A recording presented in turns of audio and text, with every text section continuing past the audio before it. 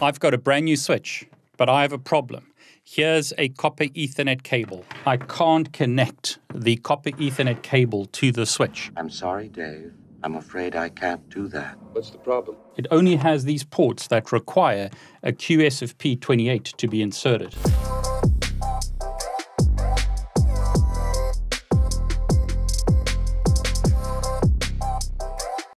So I could insert this QSFP28 and then I could connect a fiber cable to this port. So as an example, I'd need to use a fiber cable such as this. This fiber cable has an MPO connector. So I could connect this to the switch. Now the first question is, why do we have ports such as this? Why do we have SFP ports on this switch as an example, rather than, say, fixed ports such as these? And the answer is essentially flexibility. I could connect a copper interface, but I could remove that and use a fiber SFP. This is 10 gig fiber and this is 10 gig copper. These ports are fixed Ethernet ports. So all I can use on these ports is Ethernet cabling, so copper Ethernet cabling such as this. I can't connect a fiber cable to this port as an example. Whereas on this port, I could use a fiber cable. This fiber cable is using what's called an LC connector. I could connect fiber there, and then I could, as an example, connect that to a network card such as this. I could have a fiber connection directly from a PC to the switch. In this example, this is only 10 gig fiber, but that port on the PC is 25 gig. So what I should actually be using is a 25 gig SFP. But notice the flexibility.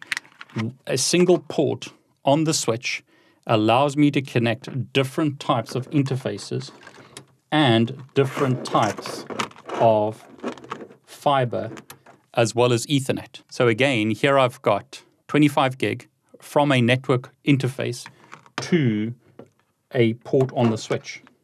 So that's fiber. Here I could use copper. So remove that, plug copper directly into the switch. So these are known as SFPs or small form factor pluggables.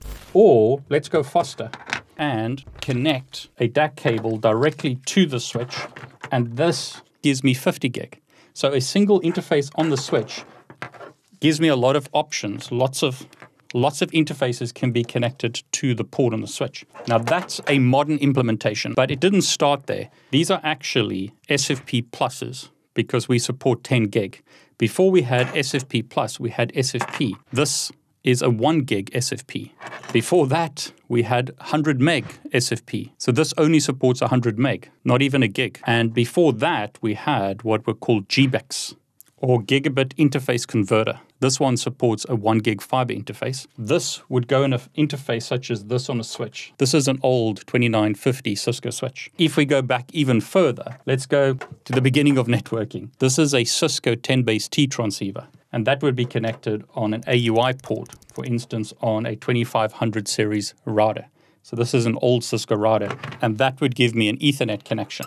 So I've got Ethernet on an AUI port. So this AUI port supports 10 base T. But before that, we had 10 base 2. So I could use the same interface and attach this transceiver to get 10 base 2. Here's a digital transceiver. So something like this could be used for 10 base 2. You can see how things have, have changed over time. So 10 base 2 became something like this much smaller transceiver. But let's go to the birth of networking. Here I've got 10 base 5, and here you can see I've got a vampire tap. This would dig into the cable. So you'd actually put the 10 base 5 cable here, and that would clip into the cable. In those days, you would typically use a drop cable to connect the router or device to your 10 base 5 transceiver. So you would connect it something like that. I've created videos previously showing you how to set up a 10 base 5 network.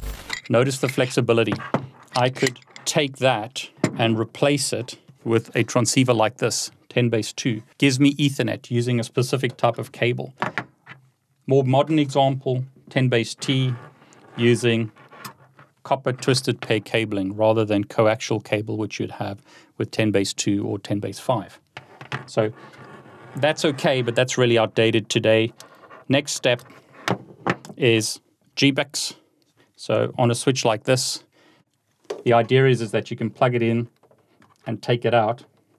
I could take this out and then perhaps put a copper GBIC into the switch. But using our modern example, SFP plus, there's copper, Ethernet in there.